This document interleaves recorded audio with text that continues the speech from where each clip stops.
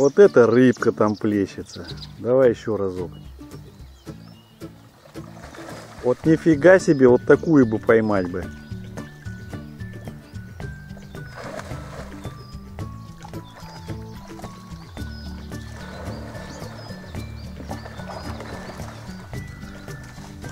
Она метра полтора, наверное.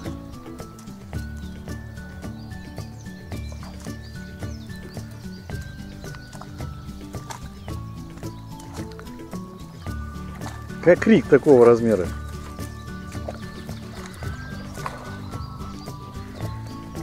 Все-таки он залез.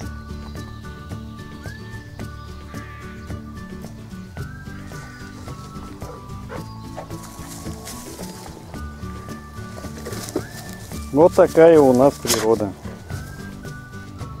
Полутораметровые рыбы, коршуны над головами пролетают. Итак, привет, друзья! Сегодня вновь с вами канал Я и мой хвост, и я его автор и ведущий Олег. Э, в крайнем сюжете я показывал вам, точнее даже не показывал, а обмолвился словом просто, как нужно купать собаку, то есть правила. Ну и как ни странно, почему-то очень много стало поступать вопросов на эту тему. Просят, чтобы я показал, как это делается. Я не вижу здесь никаких препятствий, собственно говоря. Давайте я вам покажу. Но мне кажется, эта процедура, процедура настолько простая, что тут и показывать собственно говоря, нечего. Итак, мы с вами соблюдаем определенные... Ну, молодец, вот, вот, вот Видели, да? собачьей стороны это вообще это знак такой положительный. Это мне неприятный. Собака подошла, продемонстрировала, что вот я такой чистый, посмотри, хозяин, какой я молодец, я какой умница. Он не задумывается о том, что он сейчас меня обрызгал, да. Поэтому, если вы выезжаете куда-то на природу, вот как в данном случае у нас это происходит, а, то, естественно, вы можете там что нужно подготовиться к этому мероприятию. То есть, либо вы это будете делать раздетые в трусах, либо там у вас какие-то будут э, брюки специальные, непромокаемые, вот как у меня, выданные на работе мне.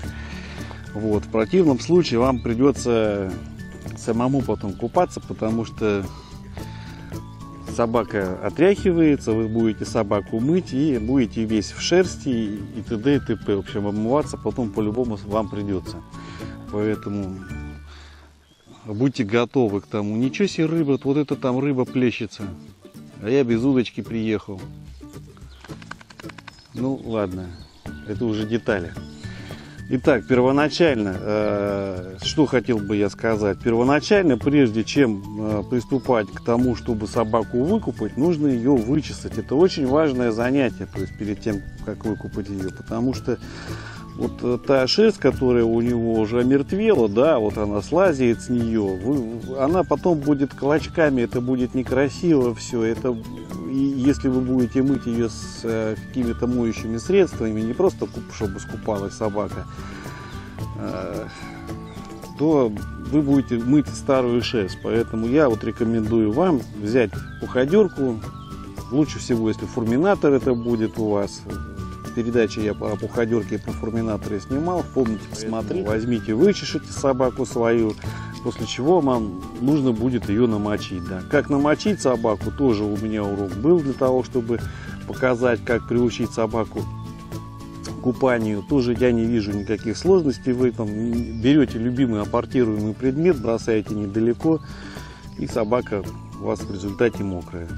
Ну, сейчас я пойду Рик, хотя и мокрый, вот сейчас только прибежал, тряхнулся. Ну, давайте мы с вами это сделаем. Рик, Рик, Рик. Ну, у лабрадоров вообще проблем с этим не должно возникать. Давай, давай, иди сюда, мой хороший. Иди, молодец, хорошо. Хорошо, умница. То есть это собаки, которые сами по себе очень любят воду, очень любят купание. Ну и все, и пойдемте мыться, значит, мы специальными средствами. Если у вас собака не, не, не, не умеет еще, то есть как бы не знает, Рика. Молодец, хорошо. Хорошо. То я вот подготовил здесь ошейник пристегнутый, да? Ну, если знает собака, ну вот Рика не обязательно пристегивать. Ну, я все-таки пристегну. То есть для того, чтобы не было возможности у него там смыться, скажем так. Берете специальное средство, собаку намыливаете. Старайтесь, чтобы вода в уши у вас не попала, брюхо, лапы, грудь. Ну, вот Рик, вот он окунается у нас. Поэтому я бошку намылю. Задницу. По выбору уже вот этих вот средств всевозможных. Смотрите сами, кто на какой кошелек. Я, честно говоря, сейчас посмотришь в магазине, какой только бодяги не, не продается. Вроде как упаковка там такая хорошая. Но у меня что-то нету доверия, поэтому я у бабушки вот у нашей были старые запасы хозяйственного мыла, которое как бы было произведено еще натуральными способами, то есть выворки из жира там, да, падших животных каких-то. Вот это натуральный компонент, хуже не сделает. Сейчас продаются целая куча всевозможных препаратов, поэтому смотрите на свой кошелек, можете профессиональные, непрофессиональные, есть средства, которые каждый день не каждый день можете применять. Но старайтесь, в принципе, собаку мыть по мере ее загрязнения. То есть каждый день купать не надо. Вы снимаете тем самым защитный липидный слой, вот этот жировой, что тоже не есть хорошо. Но тоже запускать животное свое, чтобы оно было постоянно грязное, не нужно. То есть, ну вот, смотрите, мы собачку намылили. И сейчас будем отправлять ее обратно в воду. Я еще раз говорю, не знаю почему у вас стали возникать эти вопросы, но помыть собаку это очень простая процедура. Сейчас, соответственно, вот, руки мыльные, как я сейчас камеру буду брать. Вопрос.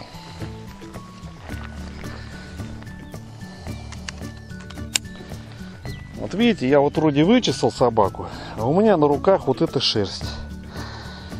На руках шерсть, на штанах это шерсть.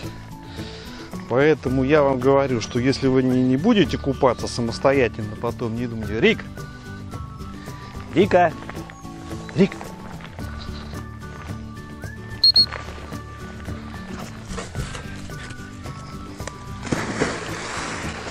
Вот, вот и все. Вот и все купание. Давай, давай, давай, давай, давай, молодец. Ну вот, процедура не, не, не сложная, поэтому что-то останавливаться на этом. Э, собака помыта. Единственное, что после того, как она у вас высохнет, э, нужно взять будет вам еще раз пуходерочку и прочесать его. И тогда у вас собака будет чистая, красивая, шерсть будет лосниться у нее, он будет мягенький такой. В общем, не животное, а красавица будет у нас. Да, Рика, ты будешь красавица? Ну вот и все, собственно говоря. Вот так вот, вот мы купаем животных в природных естественной среде. С вами был канал Я и мой хвост. Я его автор и ведущий Олег. Друзья, заслужите доверие, заслужите уважение, и у вас все получится. Спасибо.